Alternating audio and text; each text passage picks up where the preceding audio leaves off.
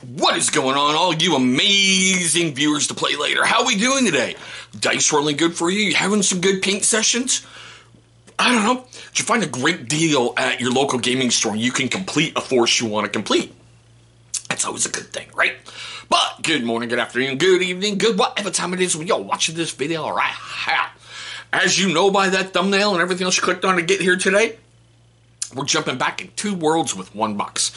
The Legion Imperialis and the Aeronautica Imperialis, Space Marines, Fire Raptor, Gunship. Did they call it a squadron? Yep, squadron is here on the channel.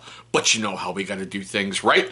We can't play too much without getting the adulting out of the way. So first up is a word from our unofficial sponsor. So there I was, 23 years old, prime of my life. I woke up one morning, looked in the mirror, and my hair was thinning. It was all falling out. It wasn't until I discovered this one solution that changed everything. My first initial thought was, it's gotta be genetics, right? It's not my fault, this is genetic. Go and find out. I'm not the only one dealing with thinning hair and confidence issues. And it was nuts because we started to change everything in our routine. We started looking at what we were putting in our bodies, what we were eating, how much water we were intaking, and then we started working out and taking care of ourselves, but still something was missing. But also what we put on our body is drastically important to our skin and hair health. So we ditched all of those chemical fill products. We started using healthy, organic ingredients and took it upon myself to start creating these organic ingredient products to help people. I have a solution for you. Ditch all of those chemical fill products and grab something that's organic, natural, handmade, something that your family will thank you and your health will thank you. Make the switch today. Great man, great company, seriously incredible products. Make sure you click in that link down below and you're abusing the ever loving F out of that viewer exclusive discount code. I don't make a dime off it, it's a gift Johnny's given to you guys. Alrighty, we're currently filming this on Monday, August 26, 2024. Two days till my kids to school. Yes! Sorry. Currently over on Amazon, this squadron is $44.20. Prime, one day eligible. Good luck with that crap. Alrighty. I really don't play Legion Imperialis anymore. I would love to have the time to dedicate to the miniatures and get back into it. I started to play Aeronautica, Aeronautica Imperialis, but I didn't like the fact locally all I could find was Imperial or Orc craft, and everywhere online all I could find was either Eldor Imperial or Orc Eldar Eldor.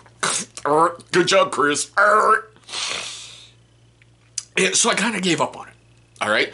But with the rebirth of Legion Imperialis or Epic on a different scale, they are re releasing a whole bunch of stuff, and I kind of like it. I kind of like the fact that these fast moving attack ships bringing in the paint, and there's the back of the box for you guys. I also love the fact that they give you alternate paint schemes on the back, and they, they're re releasing them. So I think it's a great thing to connect two different games together. And like I've always said, you could realistically attach Adeptus Titanicus, Legion Imperialis, and Aeronautica Imperialis in a great campaign all the way down the board.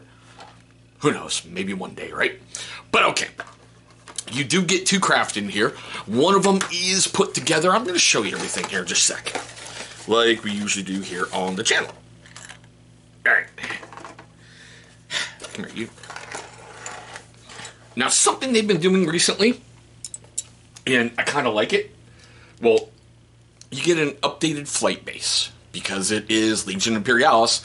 You get that city base as opposed to Aeronautica Imperialis, where they had that hexagonal, weird dial looking thingy. They are giving you extra flight stands, which I really appreciate. I really, really do.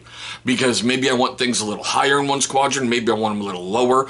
God forbid something snaps and breaks, you're able to replace it all that fun stuff. But I got two sprues of those, and yeah, I carved one out and got them all cleaned up, ready to go.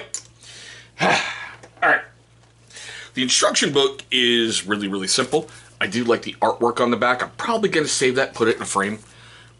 It's just something completely different. You get transfer sheet of all the legions, seeing how there's only two ships in here. Oh man, you're not going to need that many transfers your instruction book is basically a page long, all right? Follow everything along. If I can do this at 1.30 in the morning after I haven't been able to sleep, which is when I just assembled one I'm about to show you, You should be able to do this no problem. I always seem to put one together as a test and see how I like it, how the look of it, all that fun stuff. You have an option on the sponsons on the side. You can either do a Gravis autocannon, a las cannon, or a quad heavy bolter.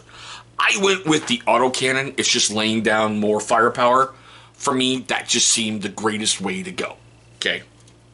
Now you get two sprues, as you notice. One is basically bare, except for the extra sponsons on the side that I did not use. Each one of these is basically a gunship. All right. What I tell a lot of people, and I, I've got this pile of like massive gray shame. Save everything for your bits box. You never know when you may need something. You might want to do a conversion. You might want to do something a little weird. Maybe you accidentally cut too close on something and hopefully you have a spare part. Save them.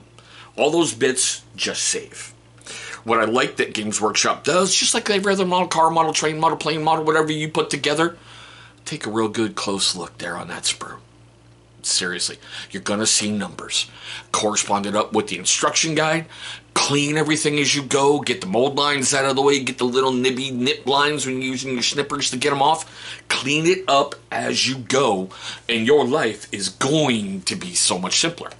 But that's a full sprue. I'm getting everything cleaned up. That way I don't lose it. Which, knowing me, that is an intense possibility. All right. Now, I know you want to see the one that's put together. Here we go. There she is. Okay?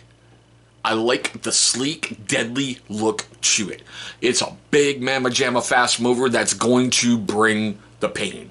The stuff that I love is like those VTOL takeoffs. Oh, you really can't see the underside, but it's got the four, you know, double jet engines to help lift it off and get it going, which I thought was just, yeah, baby.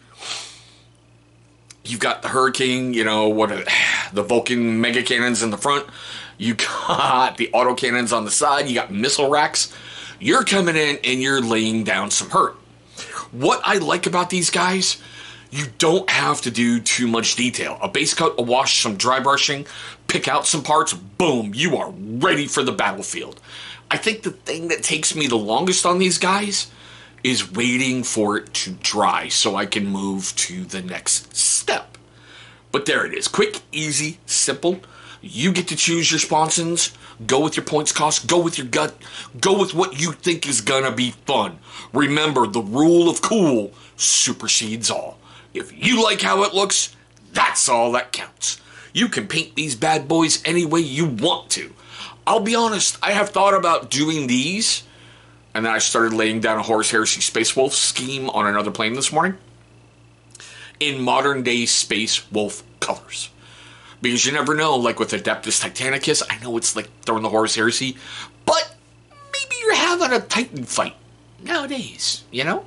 Maybe you might want to do something a little bit different using Legion Imperialis rules and just using Titans and planes. You never ever know, right? Like I said, the rule of cool. But we are at the most amazing part of the video. Seriously, I love this one and every other video I've ever done, especially this one.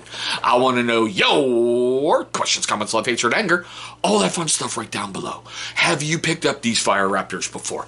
How did you equip yours? How do they equate on the battlefield? Are they a good purchase? Are they a crap purchase? Are they just fun to paint, and leave on a shelf, and collect dust? And every so often you go, brush it off. Okay, you're cool again. Back on the shelf.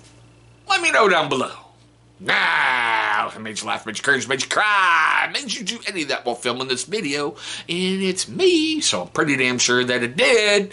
Please hit that big thumbs up. You gotta help me trigger that algorithm. You gotta show love and support for the channel, and you go give yourself good karma. All that for free, just for a thumbs up. What a deal, right? But there we go, guys. My quick unboxing weird look at Legion Imperialis, Aeronautica Imperialis, the space, what they call it, the Legions Astartes Fire Raptor Gunship Squadron. I want to thank you guys for watching this one. Hope you're having a great day today. Hope you're having a safe day today. And Emperor willing, one day we'll be rolling dice across the tabletop.